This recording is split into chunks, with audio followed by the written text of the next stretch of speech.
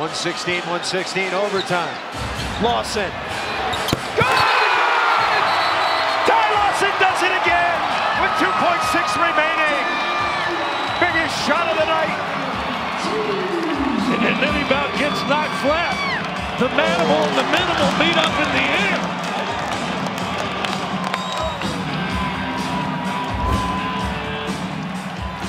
Oh my gosh. Now, Monty McCutchen just came up and said, we're calling this a two.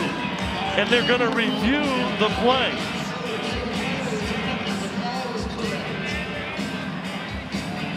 We'll take a look. And, and, and, and, once again, they changed it because they raised their hands and it was a three. But then Monty McCutchen again has come in and said, no, we called it a two. We thought the signal was for a three, and here it is. See, what a what this is. Calm down, big fella. Well, it, it's a joke because he raised his hands for a three and they came over and said, no, we called it a two, which no, they did not.